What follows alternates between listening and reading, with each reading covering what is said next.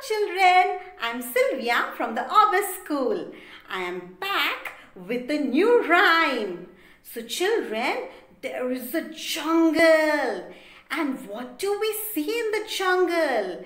There are tall, tall trees and many wild animals.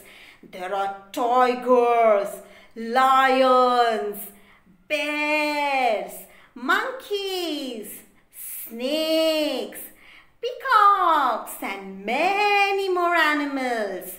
So today we'll recite a rhyme in the jungle.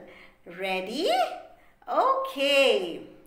The wind in the jungle blows side to side, side to side, side to side. The wind in the jungle blows side to side all day long. The tiger in the jungle roars aloud, roars aloud, roars aloud. The tiger in the jungle roars aloud all day long. The elephant in the jungle stomp around, stomp around, stomp around. The elephant in the jungle stomp around all day